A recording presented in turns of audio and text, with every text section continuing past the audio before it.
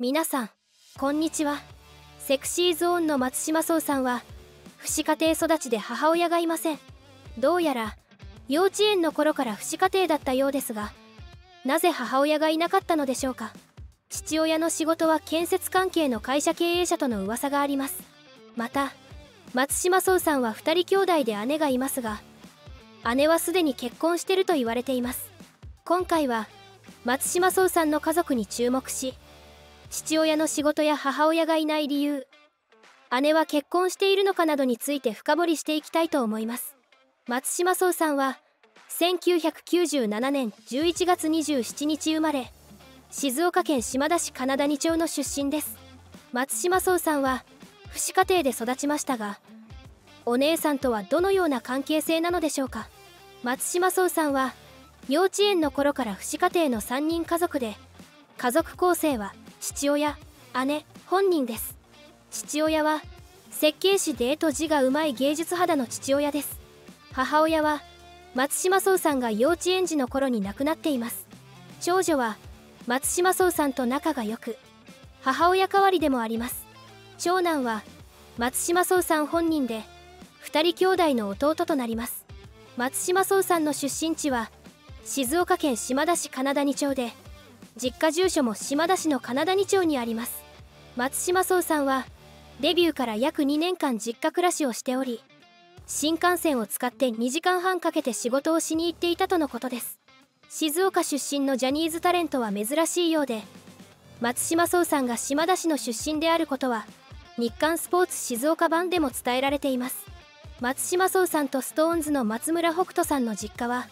自転車で30分程度の距離にあるそうです。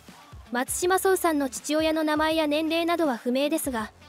職業については静岡県で建設会社を経営しているとの噂があります。松島壮さんの幼少期に母親は亡くなっていますがその後父親は再婚はせずにシングルファザーとして子供たちを育ててきたようです。松島壮さんの父親の仕事が噂されているように会社経営者であるかは不明ですが設計士の仕事をしていることは確かです。というのも2022年6月22日に「週刊女性プライム」が配信した記事の中でマリウス派の父親がインタビューに応じドイツのハイデルベルクに家を建てた時に畳の部屋の設計図を作ってくれたのが松島壮さんの父親だったことを明かしているためです。報道によればマリウスがジャニーズに入る前ハイデルベルクに家を建てました。その家には畳の部屋を作りたいと思って日本の知人に相談をしたところ静岡の職人さんを紹介されて設計図を作ってもらったんです。それが後にマリウスが同じグループで一緒になる松島壮くんのお父さんで不思議な縁でしたねとされています。当時はセクシーゾーンが結成される前だったそうで子供が同じセクシーゾーンだからとの理由からマリウス洋さんの父親が松島壮さんの父親に設計を依頼したわけではありません。知人の紹介だったとのことですので松島壮さんの父親は評判の良い設計士だったことがうかがえます。それにしてもこのような偶然が起きるとは誰も思っていなかったことでしょう。また松島壮さん本人も父親の職業が設計士であることを明かしており松島壮さんは設計士である父親の血筋をしっかりと受け継いでいることも語っています。父親は絵が上手くて字も上手で設計士である父親の背中を見て育った松島壮さん。松島壮さんは子供の頃からアートに興味を持っており美術や自由研究に熱心に取り組んでいたそうです。松島壮さんは芸能界に入ってからもアートへの興味が強かったそうです。今はアートメイクに興味があり本格的にメイクについて学ぶために専門学校に通いたいとの気持ちもあるそうです。父親の仕事が設計士であることは間違いありませんが会社を設立しているかについては信憑性のある情報を見つけることができませんでした。父親は松島壮さんと姉が上京してからも静岡に残っているため会社を経営しているのではないかと噂が出たのかもしれません。松島壮さんがまだ幼稚園児だった頃に母親と死別しています。母親が亡くなった原因については明かされていませんが病気で亡くなったと言われています。松島壮さんが母親について多くを語らないのは母親を亡くした悲しみがまだ癒えてないからではないでしょうか。幼稚園の頃の記憶は断片的にではありますが大人になってから思い出すことも多いと言われています。松島壮さんも母親のことを少し覚えているのではないかと思われます。バレンタインデーに誰からチョコレートをもらいたいですかとのインタビューに対してお母さんからもらいたかったと発言したこともあります。そういった発言は松島壮さんのとても素直な本心でありとても切なくなります。松島壮さんが25歳。ですので姉の年齢は33歳くらいだと考えられます。姉は一般人で名前や職業顔画像は公表されていません。松島壮さんが幼稚園の時に母親が亡くなっておりその後父子家庭で育っていますが姉が母親代わりとなり松島壮さんの面倒を見ていたようです。姉は松島壮さんがジャニーズ事務所に入所したきっかけを作った人物でもありました。姉はおそらく「 Hey! Say! JUMP」のファンだったのでしょう。姉から見せてもらった「 Hey! Say! JUMP」のライブ DVD に衝撃を受けジャニーズ事務所に自分から履歴書を送ったそうです。松島聡さんは次のように述べています。僕がジャニーズ事務所に入ろうと思ったのは姉が見せてくれた「ヘイ・セイ・ジャンプ」さんのライブ DVD がきっかけなんです。そこでこんな世界があるんだと衝撃を受けて僕もあの世界の一員になりたいと好奇心の赴くままに自分で履歴書を送ったんですよと当時を振り返っています。松島壮さんは2011年3月にジャニーズ事務所に入所しその年の11月にセクシーゾーンのメンバーに大抜擢されデビューしています。高校に入学後少ししてから上京していますが姉も一緒に上京して家事などをしてくれていたようです。松島壮さんの父親は松島壮さんが上京して一人暮らしをすることに反対していたそうです。松島壮さんは上京後に姉と二人暮らしをしていたため父親も姉がいたら安心と思い東京に送り出したのでしょう。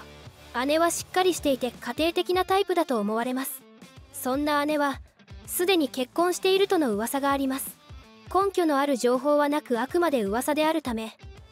姉は結婚していない可能性もあります。現在姉は静岡に戻っているとのことですが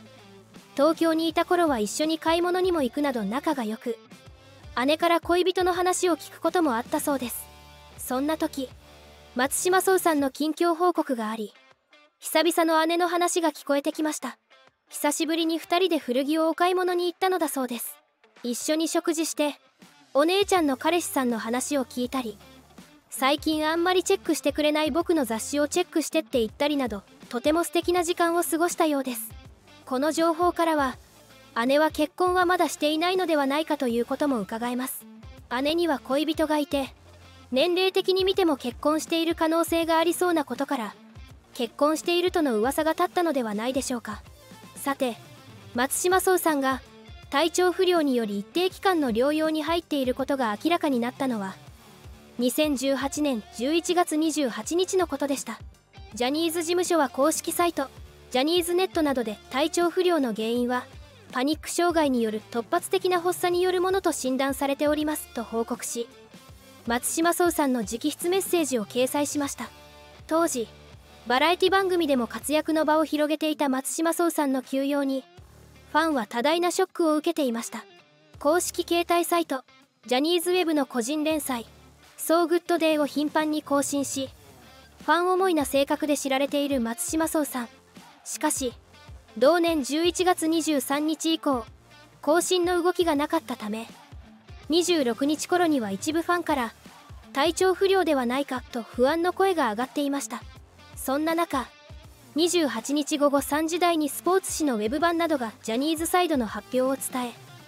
セクシーゾーンメンバーは4人で同日夜の日テレ系音楽の祭典ベストアーティスト2018に出演しました。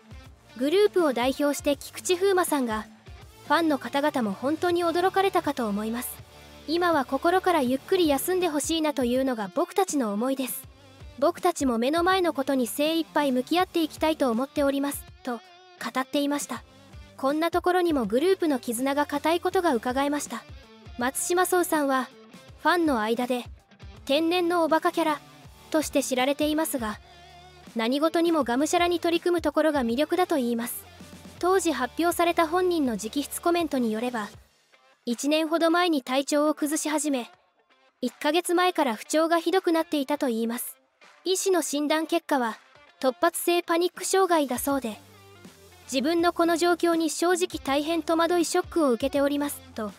治療と静養に専念することをファンに詫びていました。翌29日付の日刊スポーツによれば24日に症状が現れ病院に行った際に病名を告げられたとのことです。セクシーゾーンは今夏の24時間テレビ41愛は地球を救うのメインパーソナリティに抜擢され松島壮さんはチャリティー T シャツの一部デザインを担当していました。ハードスケジュールと大舞台のプレッシャーで緊張の日々が続いていたのかもしれません。松島壮さんのアーティスティックな才能はデザインの分野で生かされてました。一方で中島健人さんのウェブ連載「ケンティータイム」の意味深な一言にもファンの関心が集まっています。同月26日更新分で中島健人さんが唐突に「俺が直すよ」と書いたことからケンティーが「俺が直すよ」って言ってる。メンバー愛がすごいなどと男気に感激していました。その中島健人さんは29日にも同連載に少しでも早く彼が元気になることを祈りながらしっかり目の前のことに丁寧に取り組んでいきたいと決意を綴っていました。2011年11月のデビュー以降メンバーの主演ドラマ映画が次々制作されるなど人気を集めている。ジャニーズの5人組グループセクシーゾーン。しかし2014年ファンに激震が走りました。というのも今後は佐藤勝利さん中島健人さん菊池風磨さんを固定メンバーとしマリウス陽さんはセクシーボーイズ松島壮さんはセクシーショーといった派生グループの一員として活動する。また CD リリースやイベントのたびにメンバーを入れ替えるセクシーファミリーという新体制に移行すると発表したのです。もともと佐藤中島菊池のアンビ組と呼ばれる年長グループと弟組と呼ばれる松島マリウスでは CD ジャケットの扱いや露出の多さに歴然とした差があり以前からファンの間では問題視されていました。それゆえ今回の新体制についてはネット上では不人気メンバーの切り捨て事実上のクビ格差ひどすぎという声が多く中には弟組に対するいじめという辛辣な意見も上がっていました。実際空気の読めない天真爛漫なマリウス陽さんと真面目すぎる部分のある松島壮さんは兄組からいじられる場面が多くありました。しかし元民放キー局勤務の芸能ライター長尾義行さんが表したセクシーゾーン未来への力輝く言葉その向こうにはいじりやキャラ設定というにはシビアなメンバーの関係が暴露されていました。例えば松島壮さんが菊池風磨さんや中島健人さんに鼻の下が長いといじられるというエピソード。最近では松島壮さん自身も MC で鼻の下はパワースポットと切り返すなどネタにしているようですがセクシーゾーンの舞台スタッフは松島壮さんについて最初の頃はしょっちゅうもうやめたいと涙ぐんでいましたし思春期だけにルックスをいじられるのを極端に嫌がっていましたからね。と話していたといいます。松島壮さんはダンス力に定評があるものの佐藤勝利さんや中島健人さんマリウス陽さんといった正統派王子様系の顔立ちでもなければ菊池風磨さんのように10代の女の子が憧れるようなワイルド系でもありません。アンチにはゴリラと呼ばれるなどビジュアル面の悩みは人一倍深く菊池風磨さんのいじりも実は深刻に受け止めていたようです。その後2015年12月16日発売のテンスシングル「カラフルアイズ」から再び5人体制での活動を再開しています。結果的にセクシーファミリー構想はあまり馴染まなかったようです。いかがだったでしょうか？今回は松島壮さんの家族に注目し深掘りしてきました。父親譲りの絵の才能やアートセンスを生かした活動は他のジャニーズタレントにはない特技でしょう。グループとしての活動もさることながら今後は芸術面でも活躍していきそうな予感がします。これからの松島壮さんの活躍に注目していきたいと思います。ご視聴ありがとうございました。この動画が気に入っていただけましたらチャンネル登録高評価をお願いします。